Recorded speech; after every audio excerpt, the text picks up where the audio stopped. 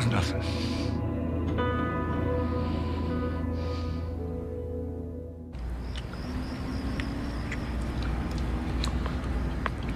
It's just tiny fancy fish. So you you just you just went online and you booked a plane ticket to Los Angeles. Just Hey, you named your son after me, kid. I had to come.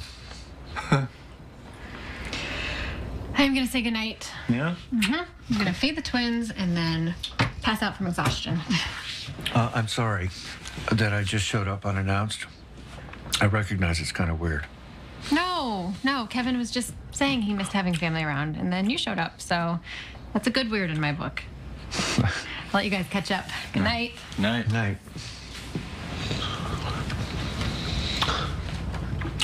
Well, lots happened since I saw you in the flesh. Yeah. Yeah, a lot has happened. And I, I can't wait for you to meet Nick and Franny. I mean, oh, they're perfect. It's like you stare into their eyes and it's like there's nothing wrong in the world, you know? Yeah? Yeah. Yeah, yeah, it's really something. Oh, and I want to take you to this dog park. It's right around the corner. We'll go tomorrow. We take the twins there every morning. And we just we go there and we watch the dogs just kind of run amok. You know, it's like a Pixar film. It's great. Hmm. you like dogs, right? Did you say you worked at a vet clinic before the war? Yeah. I did. Yeah. Oh, and and and we got to figure out what it is that you want them to call you.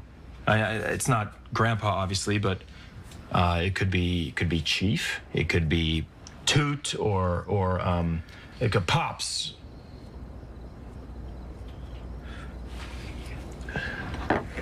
And you, you must be exhausted. You're probably dead tired from the traveling, I would imagine. You want me to go make up your bed and get that ready for you? Good idea. All right, yeah, I'll do that for you.